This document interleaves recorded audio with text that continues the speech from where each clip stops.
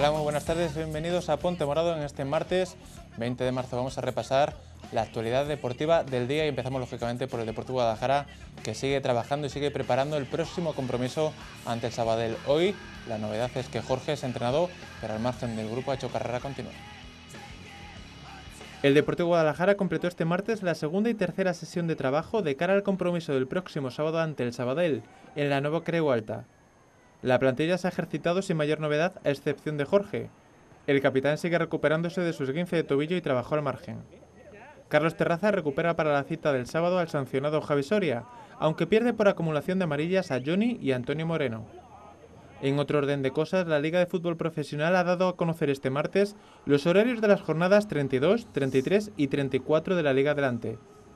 En el caso del Deportivo Guadalajara se mantiene el horario habitual de las 6 de la tarde. De esta forma, en la 32 jornada, los de Carlos Terraza recibirán al Alcorcón el Pedro Escartín el sábado 31 de marzo a las 6 de la tarde.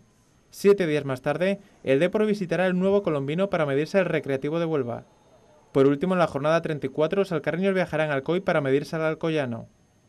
Precisamente el cuadro levantino ha sido noticia por la destitución de su técnico, David Porras, tras caer por 3-0 en Riazor ante el Deportivo de La Coruña. Porras se convierte de esta forma en el noveno entrenador destituido en lo que va de temporada en la segunda división, tras las salidas de Paco López y Javi López en el Cartagena, Ángel Rollo en el Huesca, Juan Carlos Oliva en el Nastic de Tarragona, Juan Merino en el Jerez, Raúl Agné en el Girona, José Francisco Molina en el Villarreal y Álvaro Cervera en el Recreativo, si bien en estos dos últimos casos ambos técnicos abandonaron sus banquillos para dar el salto a la primera división.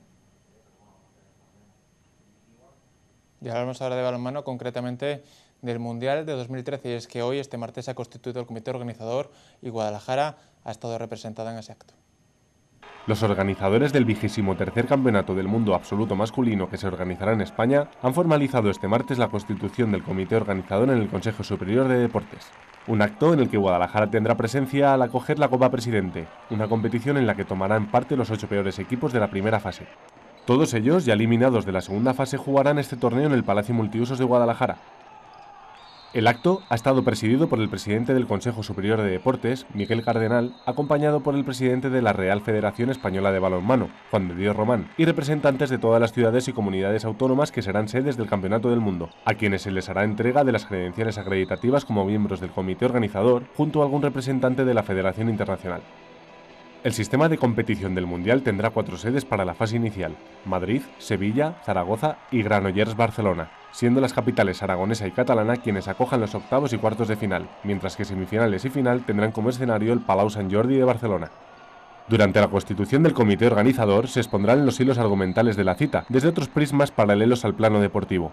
La inversión social, la revitalización de la base y búsqueda de nuevos públicos, el retorno institucional y turístico para las sedes integrantes de la estructura, así como el diseño de un nuevo concepto para un evento de esta naturaleza.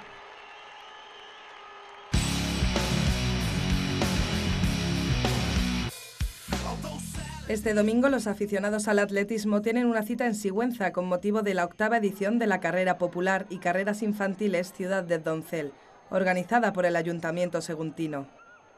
La prueba forma parte del circuito provincial de carreras populares organizado por la Diputación de Guadalajara.